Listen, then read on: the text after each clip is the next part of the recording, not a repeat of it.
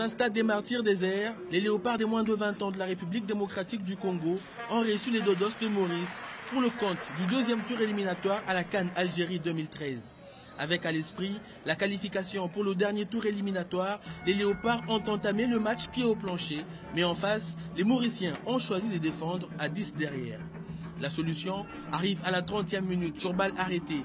Le coup franc de Litetia, renvoyé par la défense de Maurice, trouve à la tombée Boukassa qui envoie le ballon au fond de filet. Un but à zéro pour la RDC à la première demi-heure. Boukassa et les siens ont réussi à faire sauter le verrou mauricien. Deux minutes plus tard, le même Boukassa va jouer son numéro de soliste.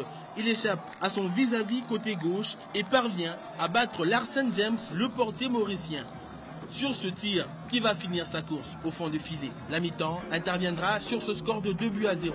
Malgré cette lourde frappe de Bangala, le milieu terrain du Daring Club Motema Pembe qui oblige le portier adverse à sortir le grand jeu la première période, la seconde période verra des léopards dominateurs alourdir le score à l'heure des jeux. Moutienga transforme un penalty consécutif à une faute sur Bukassa. 3 buts à 0 score final. Une victoire qui permet aux léopards de prendre une sérieuse option sur la qualification avant le match retour.